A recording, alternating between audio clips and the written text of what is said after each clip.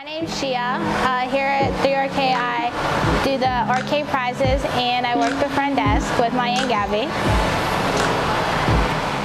Um, what I do here is I check in people to the races. I hand out prizes to uh, all the little kids uh, from the arcade.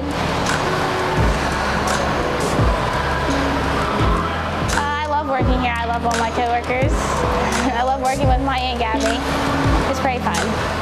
My favorite part about this job is probably working with my Aunt Gabby. She Yeah. buys me lunch all the time. It's great. Um, it's very active, I would say.